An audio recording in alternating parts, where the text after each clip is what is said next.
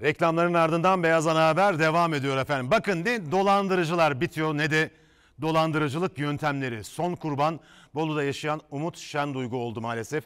Dolandırıcıların ağına internette dolaşırken düştü Şenduygu ve haç ve umre çekilişi ilanını tıklamasıyla 31.500 lirasından olması da bir oldu.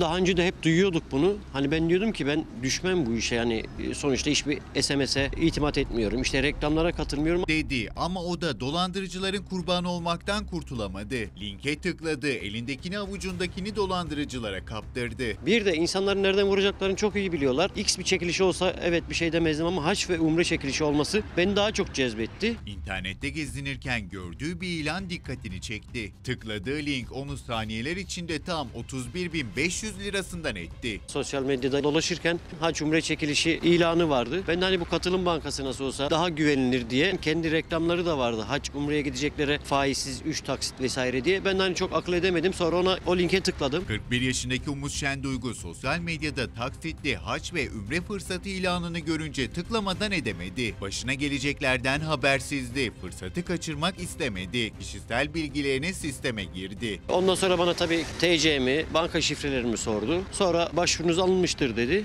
Çok geçmeden telefonuna gelen hesabınızdan 31.500 lira para çıkışı olmuştur mesajıyla neye uğradığını şaşırdı. Bir mesaj geldi bana. Hesabınızdan 31.500 TL FES çıkışı olmuştur diye. Hemen ardından daha saniyeler geçmeden müşteri hizmetleri tarafından arandım. Şen Duygu şifrelerini değiştirdi ama dolandırıcılara giden parasını geri getiremedi. Parasının iadesi için bankaya başvurdu. Talihsiz adam vatandaşları da böyle uyardı. Ben mağdur oldum.